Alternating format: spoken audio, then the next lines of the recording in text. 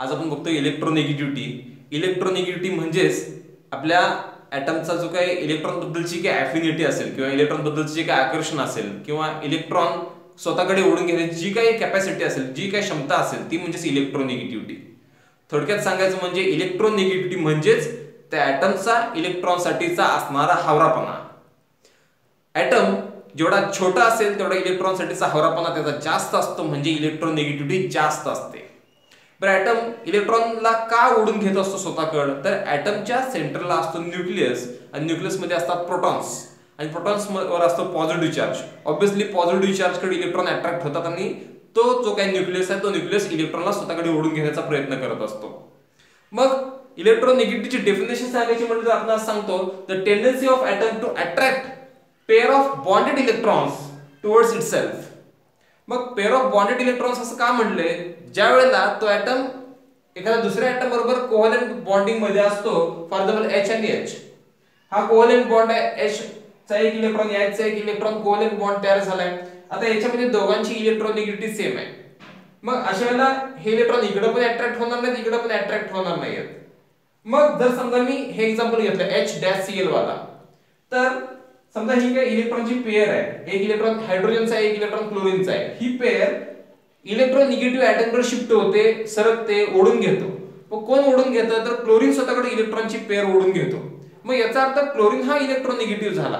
Chlorine हा इलेक्ट्रॉनसाठी हावरा झाला. म्हणून आपण म्हणतो tendency of atom to attract pair of bonded electrons towards itself मग स्वतःकडे इलेक्ट्रॉनची पेअर ओढून घेण्याची जी काही कॅपॅसिटी आहे जी काही क्षमता आहे त्याला आपण म्हणतो इलेक्ट्रॉन निगेटिव्हिटी आता इलेक्ट्रोनिगेटिव्ह म्हणजे थोडक्यात त्याचा हावरापणा. कशासाठी? इलेक्ट्रॉनसाठी मग आपण जर समजा इलेक्ट्रोनिगेटिव्हचे जर स्केल बघितले तर ते काय स्केल आहेत?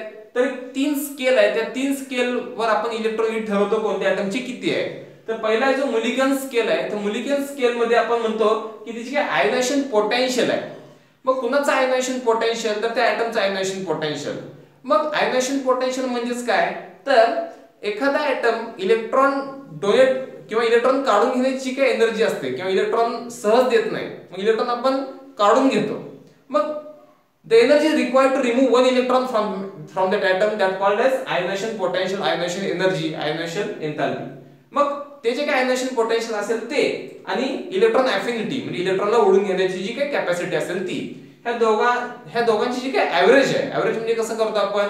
दोघं आहेत ना आपण डिवाइड बाय टू करतो. मग ऍव्हरेज करतो ते ऍव्हरेज म्हणजेच electronegativity according to the Mulliken scale हे आपण नॉर्मली वापरत नाहीये.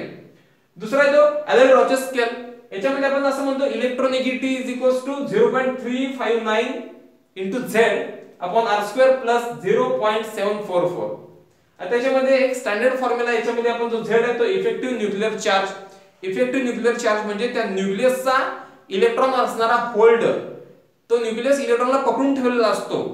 तर त्याला म्हणतो आपण इफेक्टिव्ह न्यूक्लिअर चार्ज आणि आर म्हणजे काय? रेडियस ऑफ द ऍटम हे सुद्धा आपण जास्त वापरत नाहीये. मग आपण कोणती इलेक्ट्रॉनिगेटिव्ह स्केल वापरतो नॉर्मल पिरियड टेबलमध्ये तर ती पॉलिंगची स्केल वापरतो.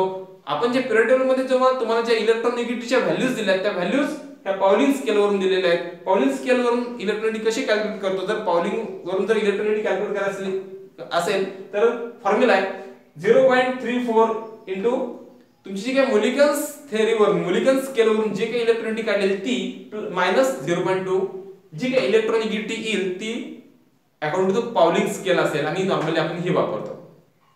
हे जस्ट इन्फॉर्मेशन मी तुम्हाला सांगितलं. मग इलेक्ट्रॉन निगेटिव्हिटीचा उपयोग काय? किंवा इलेक्ट्रॉनिटी कशी बघायची ते थोडंसं मी सांगतो.